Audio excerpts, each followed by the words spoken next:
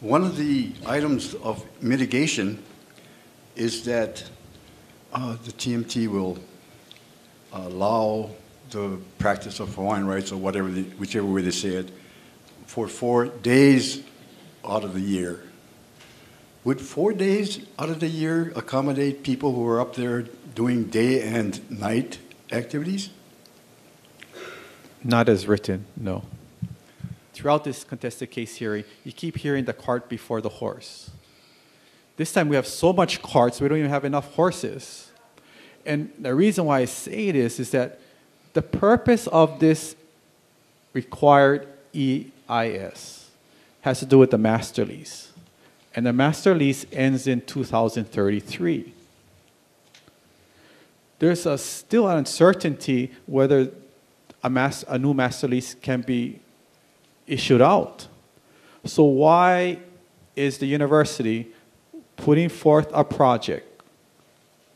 In this case, the project is the TMT Observatory, which has been clearly stated and not disputed at all in any of the testimony that it's this, the lifespan of this project was 50 years or more, which would exceed the existing, what we call, it's called the master lease, but the existing general lease. If the general lease ends and there's no new lease, and technically you can't extend this general lease, all the subleases end as such. And if they end, these observatories will go through a process of decommissioning. And if the, if the TMT was built, that would apply to them as well. What is your perspective as an educator and professor of the TMT project's proposal of awarding funds for educational activities and scholarships in exchange for building this telescope? This is a blatant community bribe. I want to say a bribe. They're offering money to, to, to, to destroy. And when I say it's a bribe, there's strings attached to it. And so in the money, it's like blood money. It's blood. It's like blood money. When you talk about the scholarships, so here's the project. TIO is giving the money to a person, the in-between person, to support this project. Scholarship money. Then a scholarship money, in most cases, is going to the UH. It's they've come up with a great scheme to pass money through, and it ends up back to the applicant. We've seen this with many other developments in these islands. I've seen this on many other projects that have come through. How money is used in a community to buy support for a project when they know it's adverse and when they know the impacts are significant. If the TMT wasn't built and they felt it was so important that the community should have this money and should have these scholarships, then why not have the existing telescopes put in that money? We, we have 13 telescopes up there. You eliminate the UH telescopes, you'll get, if everybody paid a million dollars a year, you get somewhere between nine and $10 million. That's where you get your money from. You don't need a new telescope, $1 million a year, to bribe us. Just have the existing telescopes fund, the, fund these programs. If you felt, if the astronomy community and the existing telescopes and existing partners felt that this was so important, then they should be funding it to the extent beyond a million dollars with no strings attached because they're already there. It's as simple as that. And you also discuss the requirement to update this, the comprehensive management plan every five years. Um, and just I wanted to check if I remember correctly that somehow that update was delegated to the Office of Mauna Kea Management and that in her testimony, the executive director of the Office of Mauna Kea Management, Stephanie Nagata, said that she told the Office of Mauna Kea Management Board that there was no need to update the CMP with a new five year analysis. And Do you remember that? I remember that testimony, and well, unfortunately, Ms. Nagata does not have the authority to make those decisions. If anyone is going to determine whether a five year major five-year review plan or revision is needed or not needed, that would be have to come from the board of land and natural resources.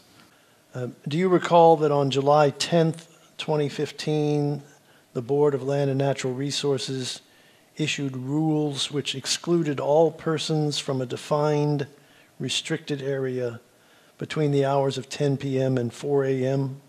I recall those rules, but I don't recall if that's the actual date or so, but uh, I do recall the rules. And that there was an exception to the rules for astronomers or employees of a University of Hawaii facility that they could go up the mountain?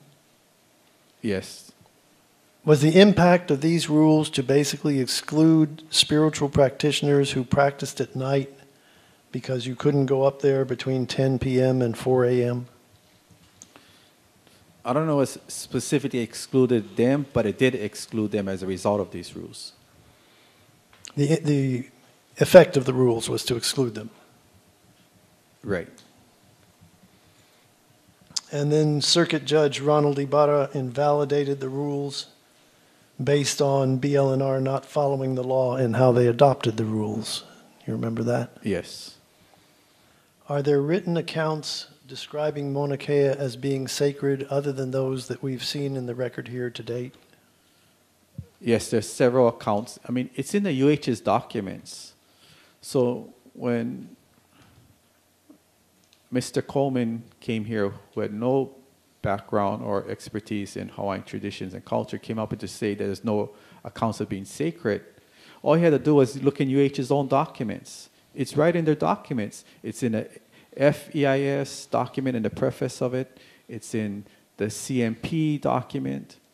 It's throughout the documents. They cite sources of why the mountain is considered sacred. And are there also many references in different documents to Mauna Kea as a burial ground? And, and there are references to Mauna Kea as being a burial ground. But you also have to understand, and this is from fam- family, family accounts, that many ancestors' bones are, have been, are in the dust on the mountain.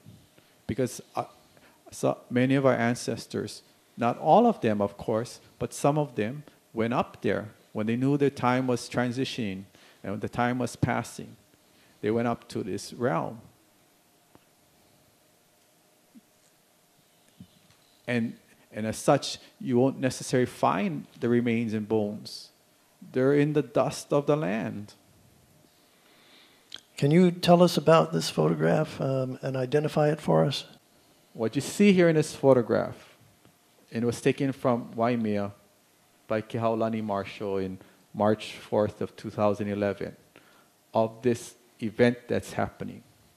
On this particular day, the entire part of the mountain above was clouded over, except for this one opening in a portal that was above it. And so when we ask for Ike Kupuna, ancestral knowledge and insight, what was shared with us is that what we see in this picture is what was happening at that time. There was these energies that were flowing through from above. Whether you believe in the concept of a, a supreme being, a creator, a god, what Hawaiians also refer to as Keakua, these were life force energies from coming from the creator. Coming through this portal here with all these observatories that have been built up there, they're causing a disturbance to the natural energy field of this mountain. And it's put things out of balance. And what does the term kupua refer to in your testimony? So kupua, spelled K-U-P-U-A, are other other beings. And I say beings in a way, way but there are other entities. There are other and it's, and you look at the dictionary, it says supernatural beings, but it, it's more than that. It's not like a supernatural. They are in that way, but the best. So so our ancestors, kupuna, called them kupua. There are these other beings that are there. They're not human. There are other beings that are, that are, that are like that, and the, the comparison to a kupua who is on on a mountain is Mo'oinanea, who serves as a guardian at Lake Waiau. Right. How would you respond to individuals with a mindset or a lack of understanding who might choose to dismiss the existence of Akua, Kupua, and Kupuna, or dismiss them as mythological folklore or far fetched? I'm not here to try to convince anyone on anything, on anything that we do. I can only share what we've experienced. But it would be very narrow minded for people to believe that the human physical form is the only form of life here on this earth. There's many things beyond the physical. And I can say personally, we've encountered many things from the spirit realm in many different ways. And that our ancestors understood this very clear. That when we talk about akua, akua in, in a context are the natural elements. The natural elements around us. That's why our, our kupuna, our ancestors, gave them names. So it's not just the rain or the snow or the ocean and the waters these elemental forms were the akua of, of our people. And it's not just elements. These elements have a consciousness. When I say consciousness, they have the ability to interact with us as humans. They have an ability to listen and receive what we have to offer in a chant or a song, and they have ability to respond back the best way most people are, might be familiar with is tutupele. It is many accounts of family accounts and stories that's also been written of how families and ali'i interacted with Pele. Is there any significant discussion of all of that in the CDUA? None at all. Is that your name appearing in the middle of the table on page um, 93? Yes. Do you recall being consulted or asked to consult? I don't. I don't recall being in asked. Well, you know, to consult. Mr. Flores, you may redirect yourself upon Right. redirect. I just you know. your question. I don't recall being asked to consult. Okay, that's fine. Let me now show you a, um, a series of emails between yourself and uh, Miss uh, Mishala Spearing, from, a cultural researcher for, from Cultural Surveys Hawaii. You recognize the email? And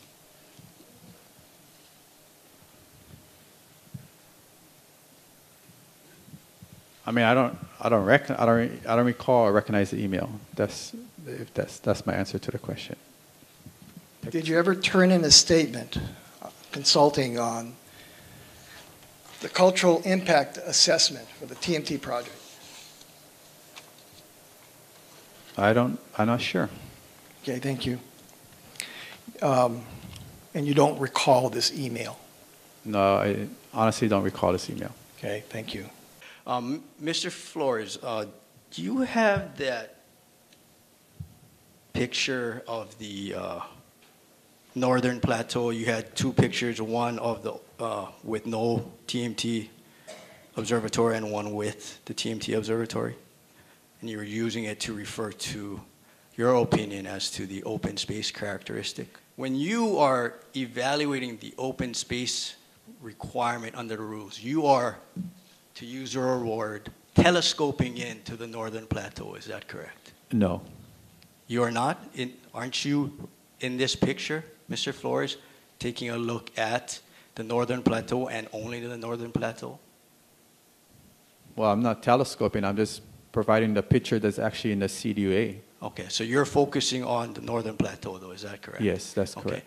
But when you talk about the impacts to tradition and customary practices, it is your belief that we, the area that needs to be considered is the entire Mauna Kea Science Historic District. Is that correct?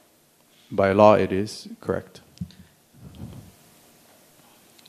What law are you referring to? and state historic preservation law. Okay, and you, like I said, you didn't read the Kila Kila o Hale- Haleakala decision, is that correct? Yes, I didn't read that particular and decision.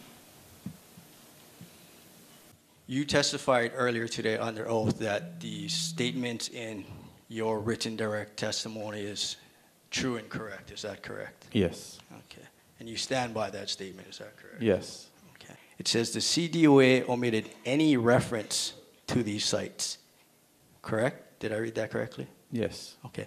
But in fact, the CDUA does at least identify these sites in figure 4.1, is that correct? They're in, they're in the figure, but there's no discussion on them. Yes. Mr. Flores, you said it, and I quote, omits any reference, is that correct?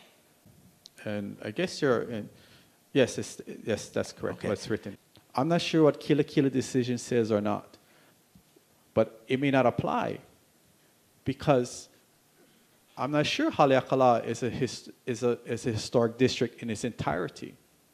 But I do know the Mauna Kea Summit region is a historic district. And the reason it got its designation is because it's of its significance. And so when you're assessing any type of project in a historic district, which the proposed TMT project proposes to be built within, you must take into consideration of, of the impact upon all those historic properties. The northern plateau and in that area is the only area that the, there's still open space there. Everywhere else where you turn around, there's a telescope around. That's the only place we have left. That's the only place we have left on this mountain.